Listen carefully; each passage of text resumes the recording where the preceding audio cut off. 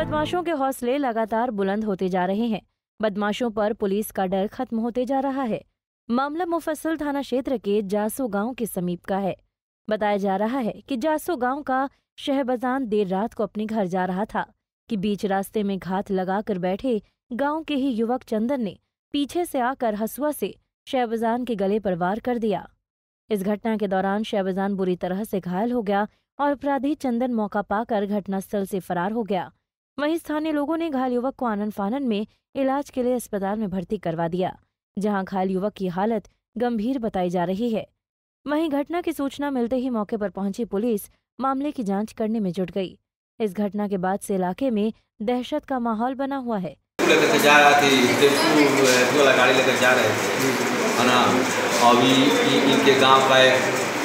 इसका नाम धर रहे हैं?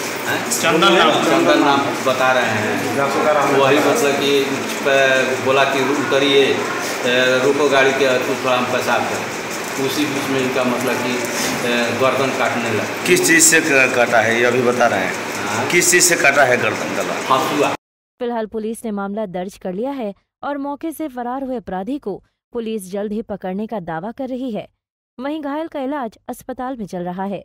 पंजाब केसरी टीवी के लिए बक्सर से संजय उपाध्याय की रिपोर्ट।